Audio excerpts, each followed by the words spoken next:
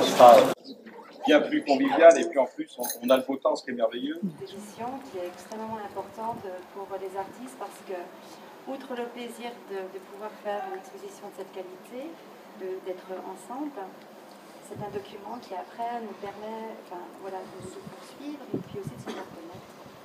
Et euh, ça c'est très important. Merci infiniment. Et euh, Monsieur Barbier également de nous honorer et puis d'avoir beaucoup parlé de la peinture et de termes qui m'étaient particulièrement chers quand vous avez parlé de Berlioz, de ce 19e, la multitude des possibles.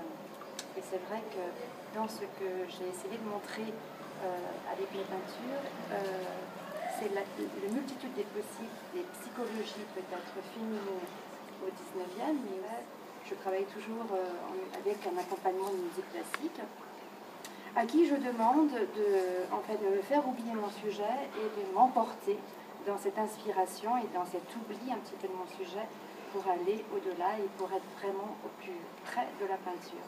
Donc la symphonie fantastique elle fait partie de mon répertoire que j'ai beaucoup, écouté. Et c'est pour ça que vous avez euh, un peu tous noté. Invitation au bal. Voilà, il m'a apparu.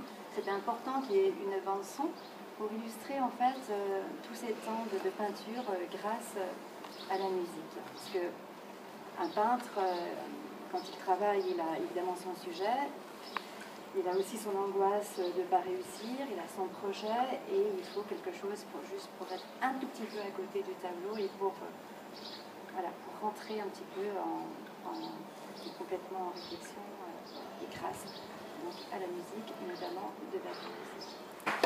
Donc, si vous souhaitez, Janie vous accompagne dans la visite. Ce serait bien qu'elle puisse vous apporter quelques explications. Et puis donc ensuite, euh, On vous invitera au verre d'amitié. tout à fait. Merci. retourner.